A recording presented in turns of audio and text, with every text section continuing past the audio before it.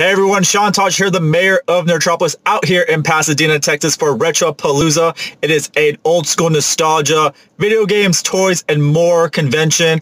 I'm going to check out what's going on inside. There's a lot of cars here. It's only been open for an hour, so I'm looking forward to seeing what this convention is all about. So I'm going to head inside and see what I can find.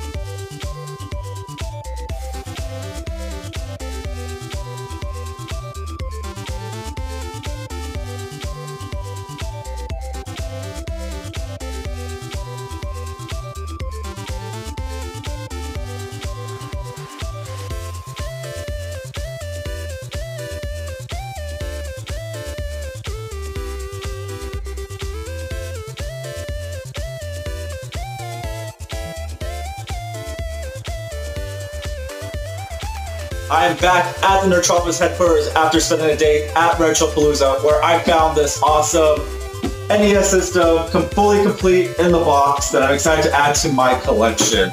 Retropalooza was really fun. It was really fun to see all the 80s and 90s video games and toys that I grew up with. A lot of stuff I wanted to buy that I had to hold back on, but definitely Retropalooza was an event that you must attend. So make sure you check them out see what the next event they have going on, and it's a must attend convention. Make sure you like Nerdtropolis on Facebook, you follow on Instagram, and subscribe to that Nerdtropolis YouTube channel because I have some more videos coming your way. So I appreciate y'all for watching, and I will catch y'all soon.